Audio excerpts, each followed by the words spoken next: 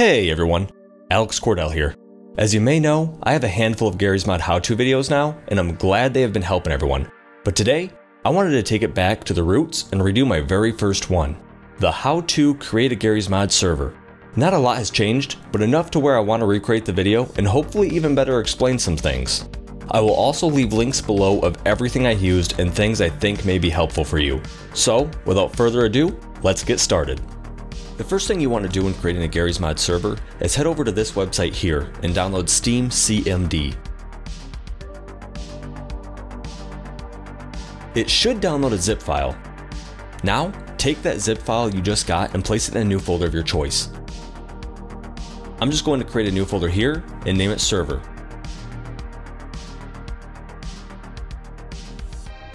Extract the zip file in your new folder and open up Steam CMD. Note, you may need to run as administrator.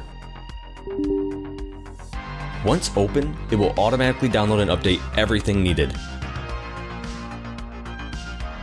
You will know it is done when it looks like this and allows you to type. Here, we will type login anonymous and press enter.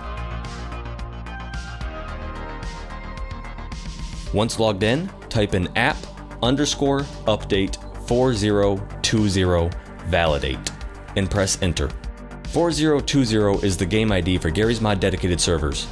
It may take a moment or two to download, depending on your internet speed. Once downloaded, you can just type exit and press enter or press the X to close it. You now have a very basic server downloaded. Next, we will create a file to open the server, a start.bat file. Inside your new folder, head to Steam Apps, Common, Garry's Mod DS. In here, create a new text document and name it Start. Open up that text document and paste this in here. It is a basic template for a start.bat file. We are going to leave this host workshop collection blank for just a moment, but this is where we will put in an ID to add workshop add-ons, which I will explain soon. This is also where we can change the game mode, map, and max players. With your document looking like this, file, save, and exit. Make sure you have file name extensions checked and shown, and rename the start.txt file to start.bat. Double click to open it up. This is what you will use to start your server every time. Notice it says the workshop collection is invalid. That is because we didn't add one yet. We will solve that soon. Once you see VAC secure mode is activated, that means your server is done starting up and officially running. Here, you will see your server's public IP, the ports being used, and up top, your server's FPS, player count, and the map your server is running. Now close out of this and I'll show you how to add add-ons. You will now want to come to the Steam Workshop page of Garry's Mod and find the add-ons you want in your server and add them to a collection. You can also add other people's collections to your server. I usually create my own collection though, based on what game mode I am hosting. You'd just click Create Collection, give it a name, description, tags, and save and continue. Then go add-on searching for whatever ones you will want in your server. I'll use this NPC add-on as an example. What you'll want to do is subscribe to the add-on, then click where it says Add to Collection, and add the add-on to your newly created collection. As you can see, I have one for each of my game modes. You would just select your collection and press OK. This is my collection I use for my sandbox server. As you can see, you can add a lot of add-ons to a single collection. This would take a bit to download though, so for my example, I'm just going to use my Trouble in Terrorist Town collection. When you have your collection perfected, go to your collection, and in the URL, you will see this ID number right here. You will want to copy that number. Head back to where your start.bat file is and edit or open with Notepad and paste that ID number right here after host workshop collection.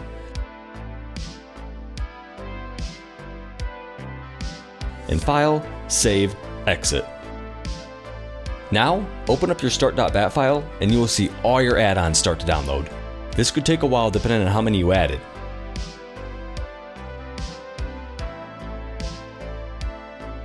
Again, once you see this message, your server is finished starting up and you now have add-ons. Any future add-ons you add to your collection will automatically be downloaded to the server every time you start it, and updates from the creators will automatically be downloaded as well.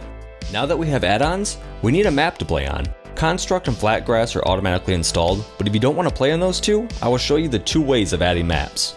The first way would be by downloading maps off the internet. I like to use garrysmods.org for a lot of my maps. They have plenty of maps you can browse from, all free. I'll use GM Big City in this example.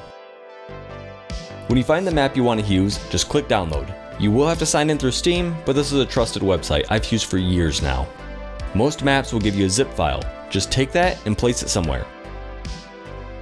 I'll place it on my desktop and extract it to my desktop. Open up the folder it gave you, and you should see something like this. Sometimes a few things more, a few things less, but the most important thing is the .bsp file in the maps folder. You'll want to head back over to where your start.bat file is and open the Garry's Mod folder and open Maps. Now open Maps in the folder you downloaded and copy and paste the .bsp file into the Garry's Mod Maps folder. Now go back and take whatever extra folders your map had and copy and paste the whole folders into the Garry's Mod folder. They will automatically merge with existing folders and make new folders if there wasn't one to begin with.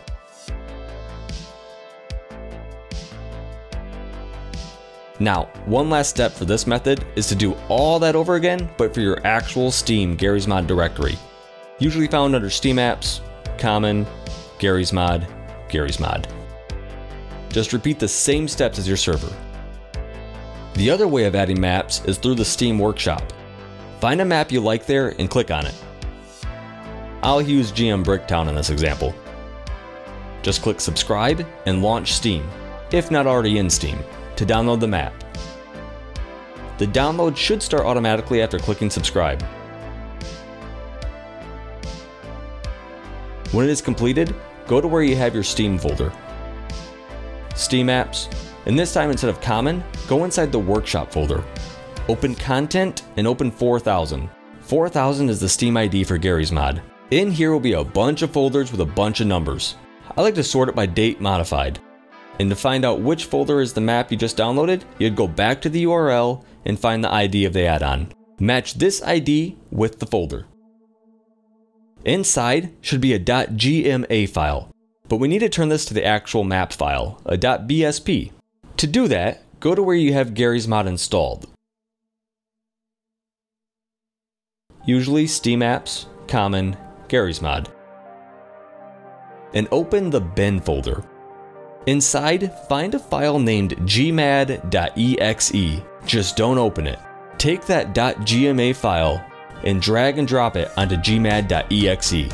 A little box will pop up for a millisecond, and it will seem like nothing happened. But if you go back to where the GMA file is, you'll now see a new folder, and inside the folder should be a map folder along with any other folders the add-on has. You can actually do this for any Garry's Mod Workshop add-ons, not just maps. Inside the maps folder should be the .bsp file. You will just place this in your server's map folder. You will not need to put this into your actual Garry's Mod game folder though, as you have subscribed to it on the workshop and it already downloaded there. Now, the very last thing for maps is to have your server run the correct map. Take down the exact name of the map you want to use and go to your start.bat file and open with Notepad, or edit.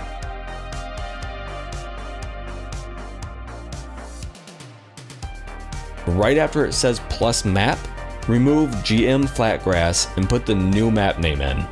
Then, file, save, and exit. When running the server, you'll now see it is using the new map.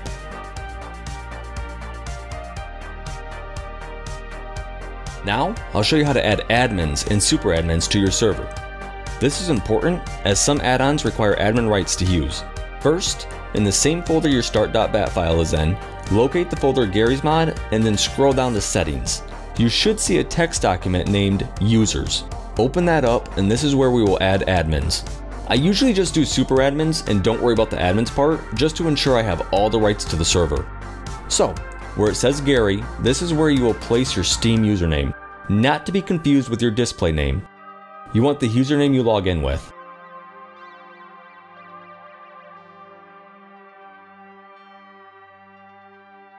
You'll also want to remove the two dashes before your username. This next spot is your Steam user ID. To find that, you will want to go to this website here and enter your Steam username.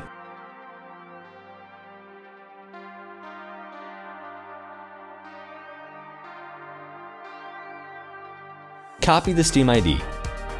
Go back to your users file and paste that right here. To add more admins, you just make new lines, like so, and repeat the steps for whomever you would like to be an admin of your server. When done, file, save, and exit. Now, I will show you how to configure your server a bit. This will allow you to change the name of your server, along with other things like how many props can be spawned in at a time. To configure this, in the same folder you have your start.bat file, open up the Garry's Mod folder, open up the CFG folder, and inside you will see a file named server.cfg. Open that up with Notepad. Yours should be blank, but this is the server.cfg file I created for mine. You can copy and paste this template or download the one I created in the link below, or you can create your own. There's lots you can do in here. The host name is your server name, you can set passwords for your server, the region your server is located in, if you want it to be LAN only or not, or if you want to enable cheats. Note, some add-ons require this to be on. You also got things like NoClip, God Mode, Player Damage, and these are all the max limits I set for things. I just set it all to 999, so I never run out of things I can spawn. Set yours how you see fit for your server, then file, save, and exit.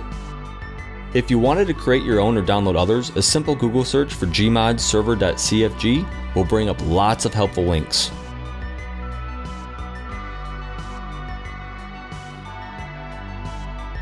There's also even a link to a server file generator, where you input what you want and it creates it at the end. I will leave a link to this site down below. Now comes the kind of annoying part but a need to have your server playable over the internet. We have to port forward the server. It's usually pretty simple, but there can be a lot of hiccups, even as small as your internet service provider just blocking the ports. Port forwarding is a little different for every router and every ISP, but it's usually around the same also. I also have a video explaining port forwarding that I highly recommend watching if you don't know anything about it. I'll leave a link below for that. Anyway, a quick rundown of what you'd do is you would want to go to your internet browser and in the URL, type in your gateway IP address. To find that, go to Network and Internet Settings and click on either Wi-Fi or Ethernet depending on how you're connected to the internet. Right here is where you'll find the IPv4 gateway IP address. Copy and paste that in your internet browser. Once you hit enter, you'll either be brought to a site like this or a box will pop up, but either way it'll be asking for your username and password. The normal default username is admin, and the normal default password is password. Some routers are a bit different though and is usually listed on the back or side of your router. Now, I have Xfinity, so it's a bit different than most ISPs. Usually after you log in, you'd find advanced settings somewhere and click on port forwarding. That is not the case for Xfinity anymore. Weirdly enough, Xfinity only allows you to port forward through the mobile app. For all you Xfinity users, I'll show how to do that. For everyone else, I recommend watching my how to port forward video, or a quick Google search on how to port forward with your router's model number. Anyway, for Xfinity, it's actually pretty easy. Just go to the App Store and download the Xfinity app. Log in with your account information, and then you'll be brought here. Tap the Connect tab, tap your internet name, mine here is SpeedForce, tap Advanced Settings, and you'll find Port Forwarding here. Tap that, tap Add Port Forward, and select your PC from the drop-down menu.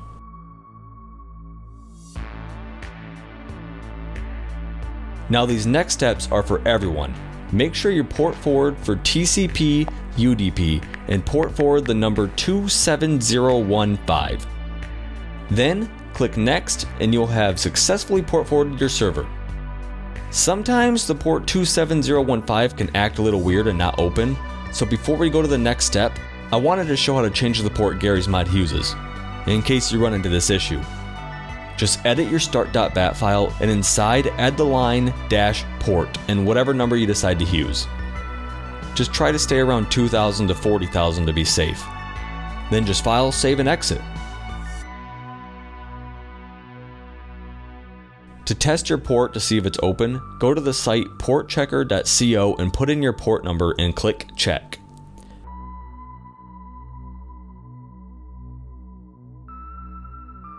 Notice how mine says closed. This is because my server is not running. Make sure you run your server before checking the port. Now with the server running, rechecking it again shows it as open. Alright, that's it for port forwarding. Hopefully that didn't give you any headaches. Well technically, that's pretty much it now. Now we can test the server and make sure everything is running. Before we test it, go to this site here and copy your IPv4 address. This will be used to let your friends direct connect to you, just in case the Steam invite doesn't work. Now, start your server, and start the game. If you click Find Multiplayer Game, you and anyone on your network should see your server listed under Local Network. You can just click that and you'll be connected to your server. You can now Steam invite your friends to join.